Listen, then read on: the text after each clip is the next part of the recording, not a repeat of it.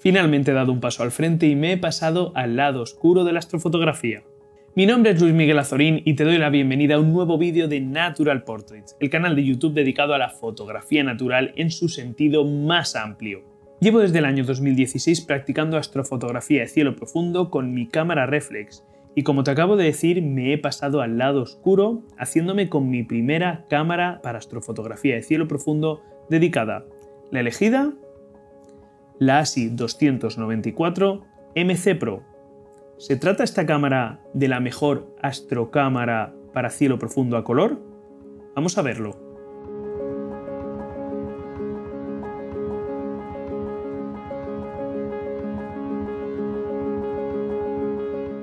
Te recuerdo que todo el material sobre astronomía y astrofotografía que puedes ver en este canal lo puedes encontrar también en la web de astrocity.es Abajo en la descripción tienes enlace a todos los artículos para que puedas echarles un vistazo. Y recuerda, compra siempre en comercio especializado donde te puedan ayudar y asesorar. Pues te presento la nueva incorporación al proyecto Natural Portraits, la ZWO ASI 294 MC Pro.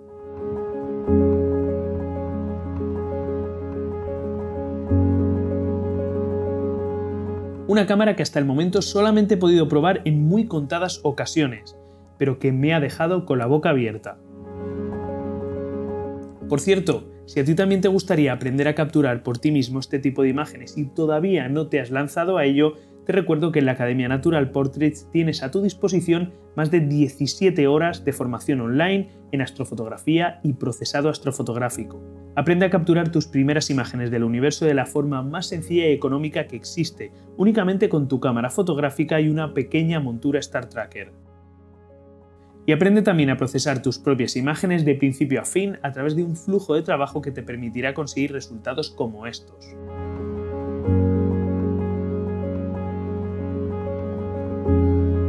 Y recuerda, todos los cursos de la Academia Natural Portrait son de pago único, acceso vitalicio, actualizados periódicamente y te ofrecen también un servicio de consultoría vía mail directo conmigo.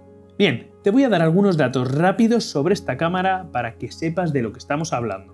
Sensor CMOS micro 4 tercios Sony IMX 294 con 4144 x 2822 píxeles. Un tamaño de píxel de 4,63 micras. Un rango dinámico de hasta 13 pasos de luz y un sistema de refrigeración termoeléctrica capaz de rebajar la temperatura ambiente hasta 40 grados. Una cámara que de entrada en las primeras pruebas que he realizado con ella me ha permitido conseguir imágenes como esta.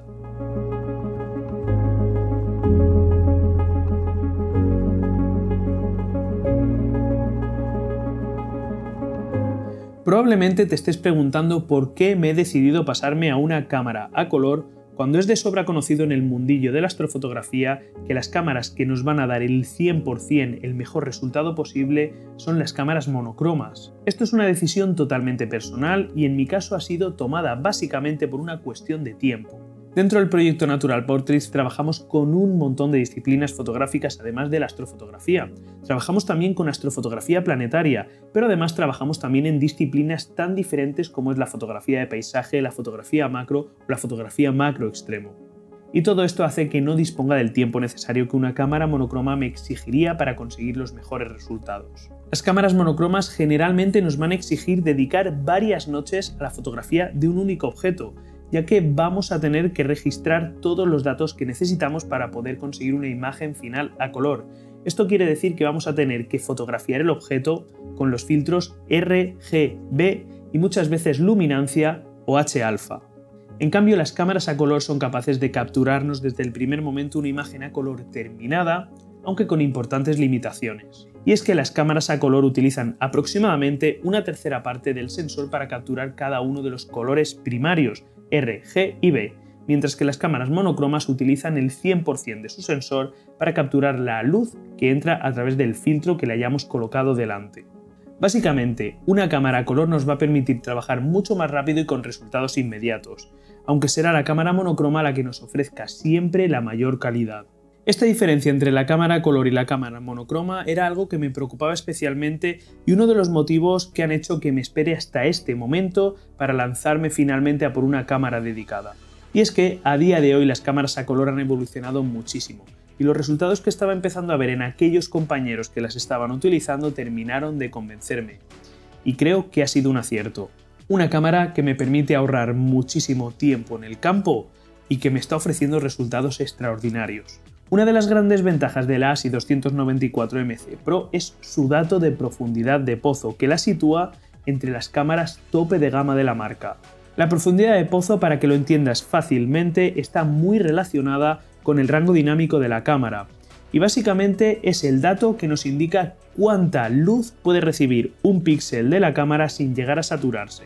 La ASI 294MC Pro tiene una profundidad de pozo de 63.700 electrones, un dato que si lo comparamos con el modelo top ventas dentro de la marca, la ASI 1600mm solamente tiene 20.000 electrones de profundidad de pozo.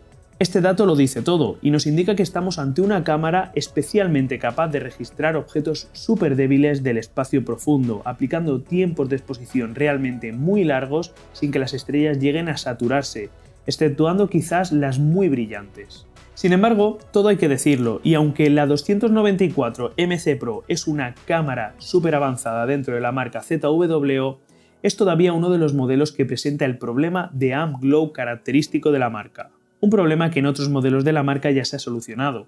El AMP Glow son estos destellos tan característicos que aparecen en los extremos de la imagen y que pueden llegar a ser muy molestos. Sí que es cierto que en la 294MC Pro este problema de AMP Glow está mucho más corregido que en modelos anteriores, pero no está totalmente corregido.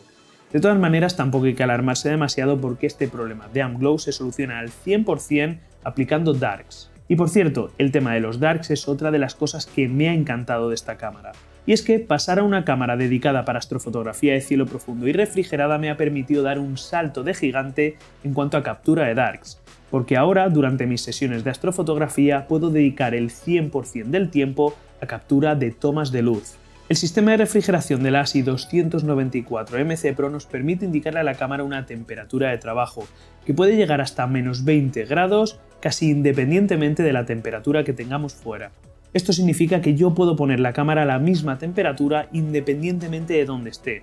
Por lo tanto, lo único que tengo que hacer es memorizar los tiempos de exposición que estoy aplicando y la ganancia que estoy utilizando para capturar mis tomas de luz, para replicar esa misma situación y esa misma temperatura en mi casa para capturar darks. Por lo tanto, puedo dedicar el 100% del tiempo de mis sesiones a captura de tomas de luz y no solamente puedo realizar los darks después en casa, sino que además puedo generar bibliotecas de darks para aplicarlos en sucesivas sesiones. Pero no todo puede ser bueno. Quizás una de las principales desventajas de las cámaras a color en astrofotografía sea su limitación para trabajar en banda estrecha. La banda estrecha consiste en colocar delante del sensor un filtro que nos va a dejar pasar hasta el sensor únicamente una delgadísima franja de luz de todo el espectro electromagnético. Las cámaras monocromas utilizan el 100% de su sensor para capturar esa débil luz que deja pasar el filtro, mientras que las cámaras a color únicamente van a aprovechar un pequeño porcentaje del color que corresponda. Es decir, si utilizamos un filtro H-alfa que brilla en el rojo, únicamente vamos a utilizar una pequeña parte del sensor que lee la luz roja. Pero una vez más parece que la evolución de este tipo de cámaras es exponencial, Personalmente considero que esta cámara funciona muy muy bien con filtros anticontaminación lumínica de banda ancha, pero también tengo constancia de compañeros que están utilizando esta misma cámara con filtros anticontaminación lumínica de banda estrecha y con filtros de banda estrecha duales con resultados extraordinarios. Así que, en conclusión, creo que atendiendo a mis necesidades he dado uno de los pasos más importantes que podía dar dentro del proyecto Natural Portraits para que todo esto siga evolucionando esta cámara me está dando resultados extraordinarios incluso desde cielos muy contaminados lumínicamente, así que creo que lo que va a ir llegando poco a poco al canal y a la academia va a ser muy potente. Te recuerdo que somos apasionados por la naturaleza y por la fotografía natural en su sentido más amplio. Si tú también lo eres, no olvides suscribirte y activar la campanita. Nos vemos de nuevo el domingo que viene con lo que más nos gusta, fotografía y naturaleza, aquí, en Natural Portraits. Adiós.